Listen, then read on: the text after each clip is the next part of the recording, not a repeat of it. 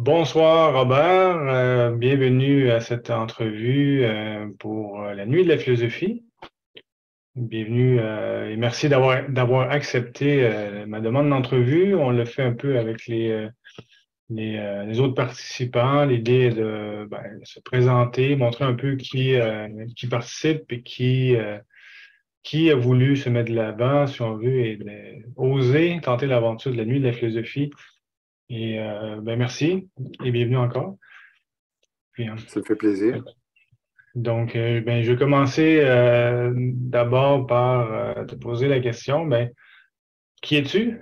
en fait, d'où viens-tu et quel est ton intérêt de, pour la musique et la philosophie? Je suis, je suis Robert Gariepi. je suis un Québécois né d'ancêtres français, autochtones et autres.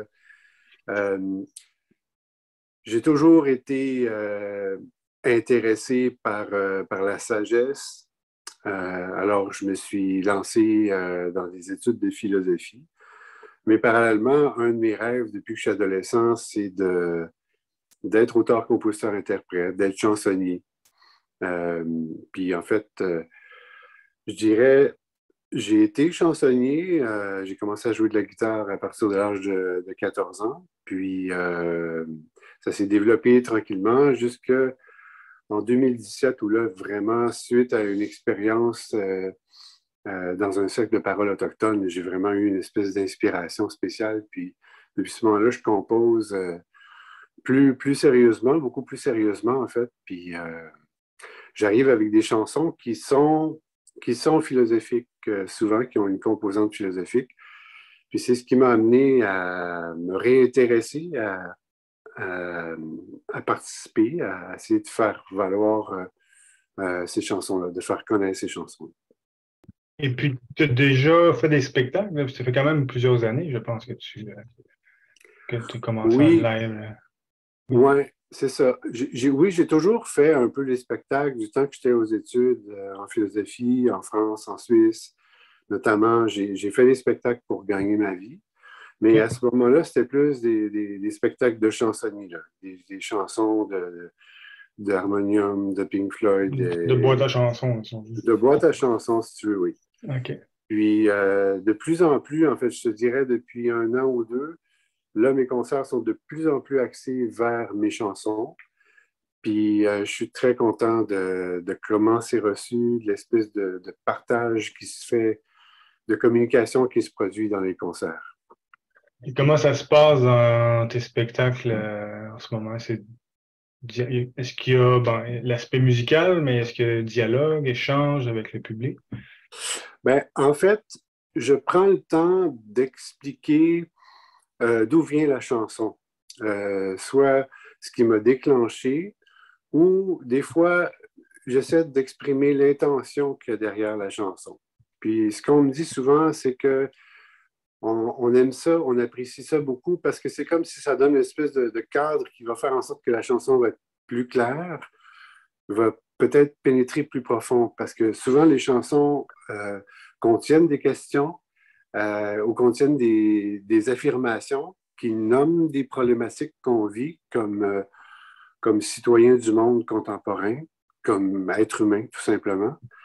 Euh, ce qui fait qu'en présentant les questions, les gens sont plus à même de réfléchir puis d'apprécier le contenu des chansons.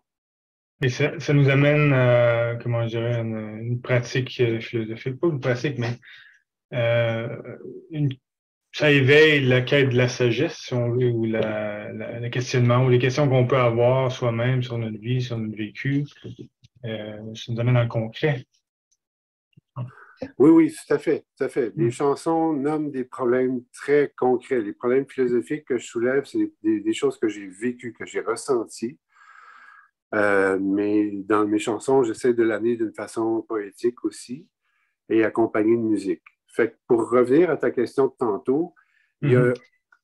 la meilleure façon, je pense, de décrire ce que je vais faire, c'est comme un concert café philo. C'est-à-dire qu'il y a une présentation des chansons, je chante, puis après le concert, c'est très possible que, enfin, c'est mon souhait qu'on arrive avec un ou deux micros dans la salle, puis qu'on pose une question, ou que les gens puissent réagir tout simplement à ce qu'ils ont entendu sur le contenu philosophique, les questions ou les thèses qui ont été euh, abordées, puis qu'on ait un échange ensemble à, la fin. Mm-hmm. L'autre possibilité d'interaction qui existe dans mes concerts, c'est qu'il y a quand même quelques refrains où j'invite les gens à chanter. Puis comme les gens ont, je leur distribue les paroles des chansons, c'est plus facile pour eux de, de suivre puis d'embarquer dans le refrain puisqu'ils ont, ils ont le texte devant eux. Pourquoi, ben peut-être tu en as glissé un mot, mais pourquoi tu t'es intéressé à la philosophie à la base? D'où ça vient, cet intérêt? Oui, c'est une bonne question.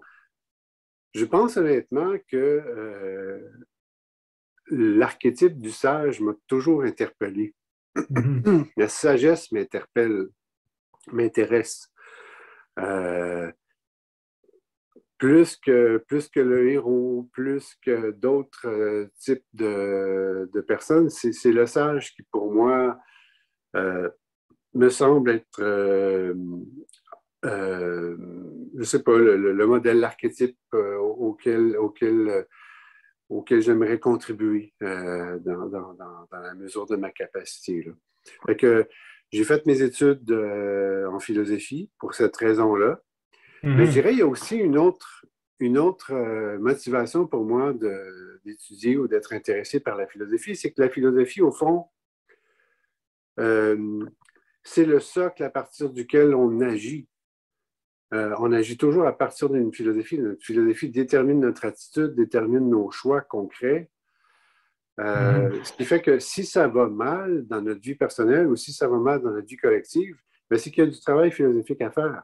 Il faut mhm. changer nos façons de percevoir le monde pour arriver à une façon plus adéquate de, structurer nos rapports entre nous-mêmes et nous-mêmes, entre nous-mêmes et les autres, entre nous-mêmes et la nature, etc.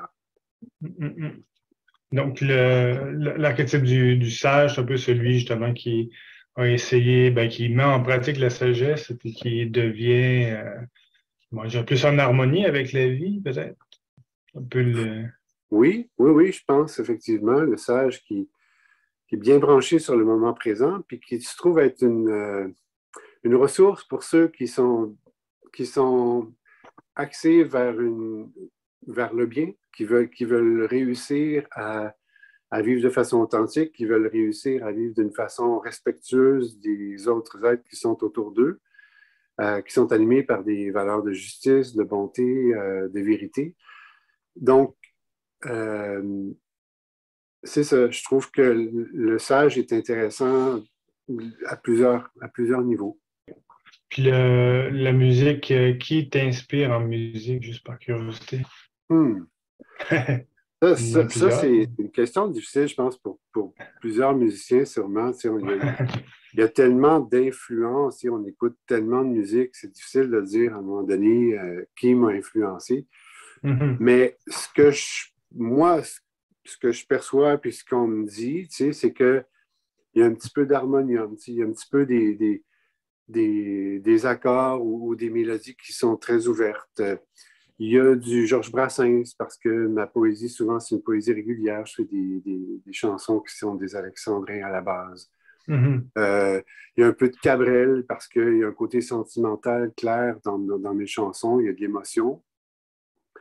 Euh, il y a du Richard Desjardins parce que des fois, je vais plus dans la dérision, je vais plus dans, euh, sortir le méchant, mais d'une façon, façon poétique. Mm-hmm. Et puis, euh, je ne sais pas, Cowboy fringant, parce qu'il y a des fois, il y a des rythmes où je suis carrément euh, plus dans, dans, dans l'atmosphère festive. Alors, euh, ouais, c'est ça, un peu mes, mes influences. Là. OK.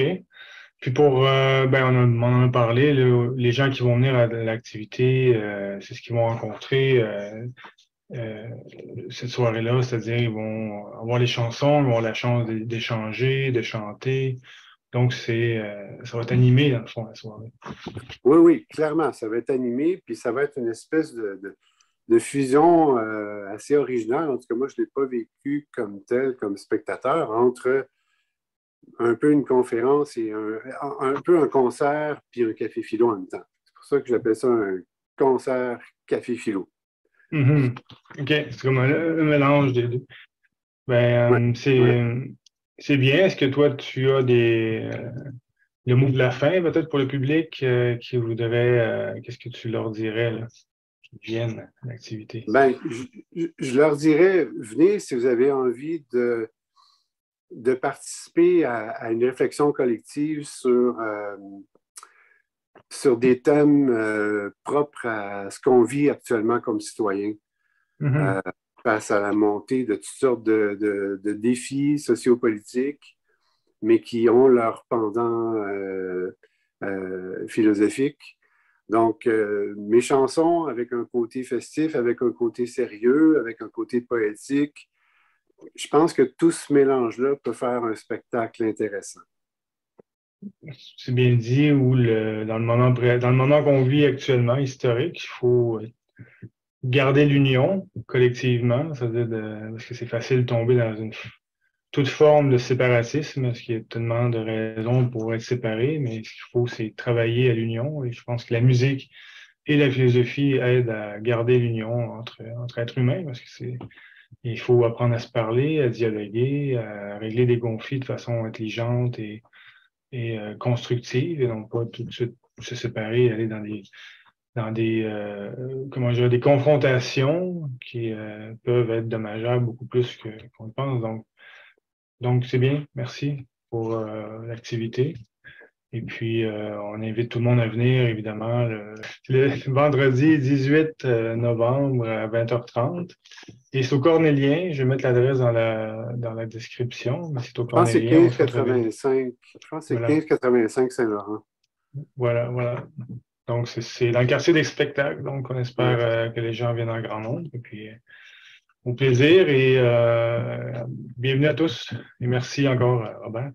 Au plaisir de vous voir euh, au Café Cornélien sur la rue Saint-Laurent à, à 20h30. 20h30, exact. Merci. Bye.